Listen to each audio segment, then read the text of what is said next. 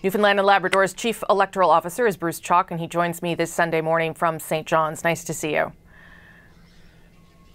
Good morning. So you have just decided today that people will now have until Friday, uh, Friday night, to apply for a special ballot. I know, though, already it's been really difficult for people stuck on the phone, having a hard time uh, getting online. Are you confident now that everyone who wants to will be able to exercise their right to vote? Uh, yes, and uh, we've made a few changes to uh, to help uh, ensure that people can uh, uh, can apply and get a special ballot kit sent out to them. What are the changes you've made other than extending the deadline? Well, and in uh, extending deadline was one of the most important parts of it. The uh, online portal uh, is actually uh, the easiest way to ask for a special ballot. the other issue is with respect to people who don't have access to the internet, mm-hmm. and we put an additional call center in place in order to be able to, uh, you know, accommodate those people. So those people will be handled by my special ballot staff on an individual basis. So once they call in. Uh, uh, and we have some of their basic information, then we'll be able to process a kit if they're on our uh, on our uh, voters list. Okay, so so I, am glad you brought that up because there are remote communities, parts of Labrador, for instance, where yeah. uh, internet has been down. They're they have very yeah. poor access to all of that. Uh, uh are yes. you sure that all of those people now by Friday uh, will be able to register for a special ballot? Will you do anything to to go out and make sure they are, rather than putting the onus on them?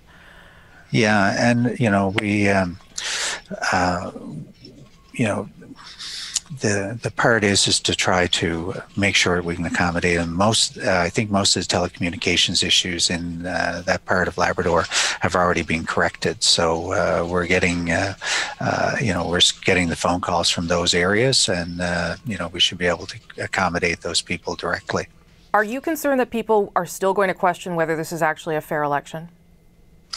Uh, you know, there's always going to be somebody who's going to question that for an election, but the special ballot process has uh, been tried and true in our uh, legislation over the years. And, uh, you know, it's had a couple of legal challenges over the years, and, uh, you know, we've always been yeah. successful. It's certainly allowed by the Constitution, it's required by the Constitution.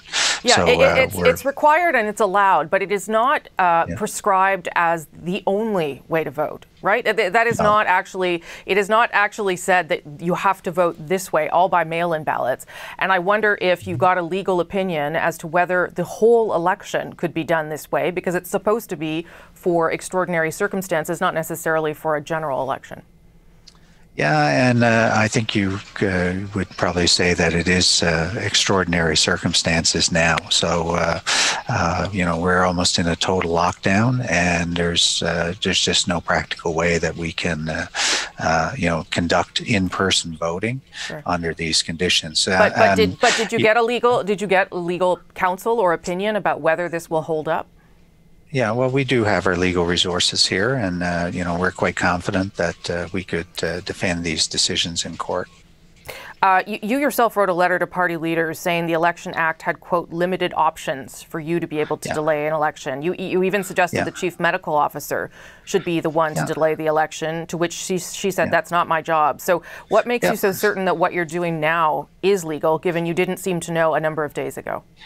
Well, you know, I was confident I was able to delay the election on my part. I do have a section in the Act which allows me to do that, uh, but uh, I have to take make make my decision based on the uh, uh the exigencies of the circumstances and uh, on. Um, on Friday when I found out that uh, we were moving from level two to level five, and that uh, because of the variant, I knew that it was impossible for us to be able to conduct in person voting uh, in the province. We had uh, hard enough time finding resources uh, at level two. We certainly wouldn't be able to find them at level five. Right.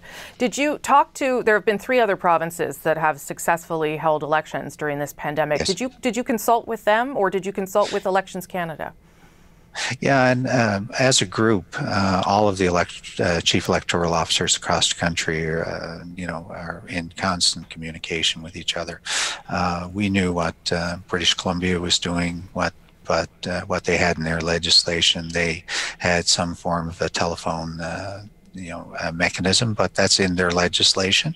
So each piece of legislation across the country is different, and because it is something that works in BC doesn't necessarily work in uh, in our area. Sure. But I think uh, the other part to be aware of in this particular situation, they did have uh, successful elections, but uh, uh, if you they didn't have the um, uh, the variant uh, wasn't prevalent. No, no, they didn't. They didn't have the variant, Mr. Chaulk, but they had yeah. significantly more cases yeah. than than you have, yeah. and and yes. so I guess that would lead me to wonder whether you were even prepared, whether you had a oh, contingency we... plan for this kind of situation, given that you seem to be changing your mind on how the election should be held every day. Yeah, well, you know, other than the the delay, we were ready to go on the uh, on uh, uh, on Saturday for the uh, 22 districts outside of uh, St. John's. Uh, it was only when it became impractical on Saturday on Friday night that we had to make a decision not to go forward. Uh, you know, we had anticipated uh, that we would lose a number of people working for us at the polls, uh, and uh, as such, we increased the numbers of people that uh, were on our list for calls right. in case we had people pulling out. Uh, and they were they were very long lists, but it became impractical to get people that just suddenly refused to work. Sure. Though, though if, if you had really been prepared for potential outbreak, would you not have focused more on mail-in ballots sooner? Well, and we did. Uh, we uh, we all of our advertising uh, right from the beginning was that uh, uh, you know we pushed uh, the fact that you could vote by special ballot right from the beginning, and as such, we had considerable increase in the numbers from the 2019 general election to ours, mm-hmm. and we had prepared actually for double what we actually had come in uh, during that uh, that part. Okay. So we had anticipated, uh, you know, and but they hadn't, you know, people hadn't applied at that point. Uh, the ballots now have to be returned on or before March 1st. That has not changed, I don't think. How quickly do you um, think? March yes. 5th, actually. March 5th. Uh, Sorry, yeah, we thank did. You. We charged it March 5th. Yeah. Okay. Yeah. So how quickly after that do you think you will have results? Yeah, and uh, one of the things that we have in there is that uh, uh, once we have the special ballots in, we can start counting some of those. So once we have all of them sent out, then our legislation does allow us to start counting some of those uh, as they come in. So we already have uh, 30,000 here.